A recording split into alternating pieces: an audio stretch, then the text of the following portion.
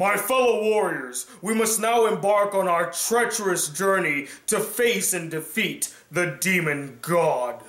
But before that, we must solve the mystery as to who went dookie in the urinal.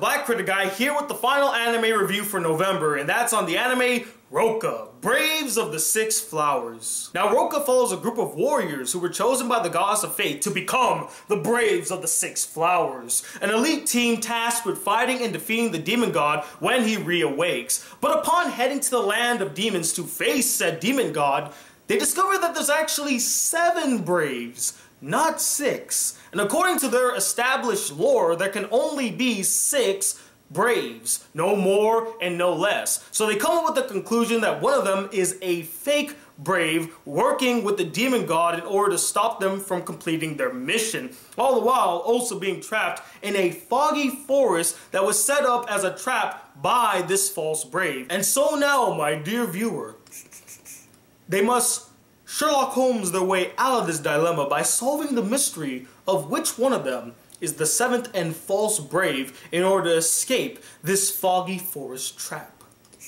Now last month, after reviewing Ranpo Kitan, a lot of you put in the comment section that if I wanted to see a good mystery anime, I should check out Rokka, Braves of the Sixth Flower, and needless to say, that really piqued my curiosity. And so, I added this anime to my November anime poll. You all voted for it to be one of the animes I reviewed in November, and after watching this entire anime, all I have to say is, this anime is quite solid. It has solid animation with good character designs, solid action sequences that were very enjoyable and did a really good job at displaying the skills of each of the Braves, and solid voice acting from the entire cast. But where this anime truly shines is in its unique concept and deep story. This is such a great concept and a great use of genre mixing. Putting a mystery story in a fantasy setting with a touch of romance thrown into it is just a match made in heaven and a unique take on the whole fantasy genre. And the story is interesting and compelling, both the mystery and fantasy parts, with many great reveals throughout. And I really just want to learn more about this world. I feel like it has so much to tell with some rich history behind it. And it also pulls that whole devil is a part-timer thing where things are not what they seem. Meaning, there's more to this world than we are led to believe. And I can't help but be fascinated by that potential. And finally, the characters, particularly the seven Braves that we follow throughout the entire anime.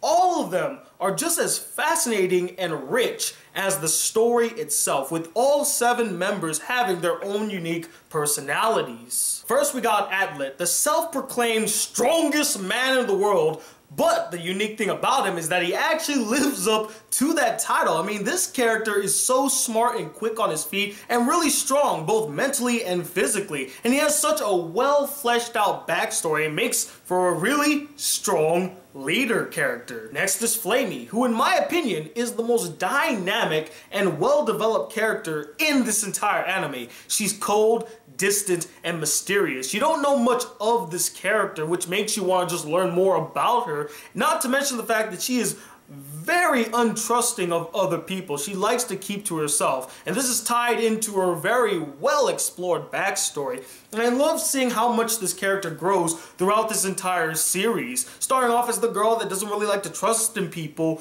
to a girl that is willing to open up a little bit more and put her faith in others once again. Not to mention, just like Adlet, the moment I saw this character, I was smitten. She is freaking gorgeous, especially with that flower in her hair. My God, I fell in love with her. And speaking of those two, absolutely adored their relationship. It had great development that created a strong convincing bond between them. I felt genuine chemistry and I wanted to see them grow closer and closer to each other as the series went on. Not to mention that their relationship defied so many romance conventions, which I actually really liked. It's not your typical tsundere or dandere or kudere type relationship where the girl won't admit that she's in love with the guy. No. It's much more deeper and complex than that. There are much more barriers to deal with in this relationship for it to work. And then you got the other Braves, who are also solid in this anime. You got Nastanya, the ditzy princess who's enamored with Adlet,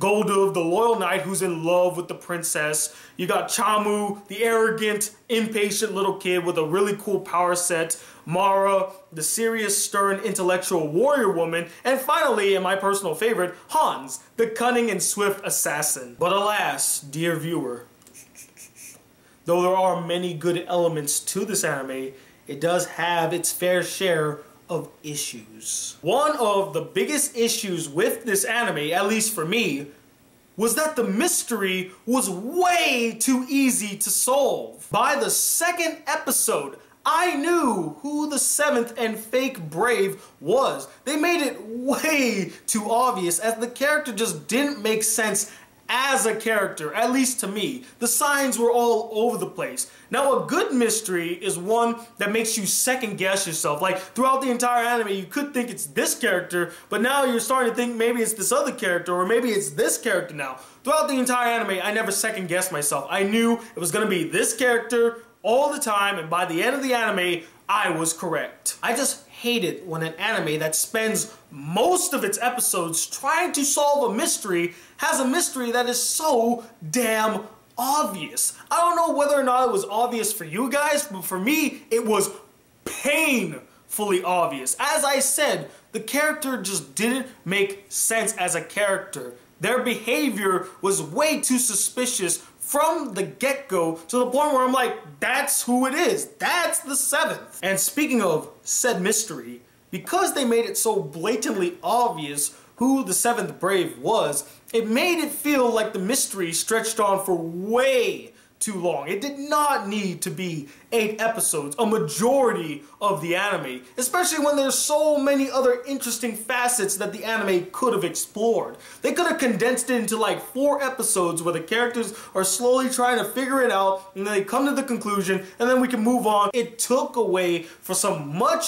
needed development on the other Braves, their backstories, and exploration of the world and story of Rokka, Braves of the Six Flowers. Now normally I wouldn't mention or do this after doing an anime review, but I just found this world, its story, and its characters so damn fascinating that I had to learn more. So I did a little research on the anime and the light novel that it was based on, and what I discovered was so damn interesting and it just broke my heart that they did not include it in the anime. They shine so much light on the story, some of the backstories of the Braves. Like you learn why Goldof is so in love with the princess. It's never explored in the anime and he comes off as the weakest brave member because of that. You learn a little bit more about Chamo, you learn more about Mara. A lot of the characters get much more interesting and developed backstories that were never explored in this anime. And considering that it's because they spent so much time on this lackluster mystery, I can't help but fault the anime for that. But also you could fault the length. I mean 12 episodes is just not enough for such an expansive story. And once again tying into my previous issue, the last issue with this anime is obviously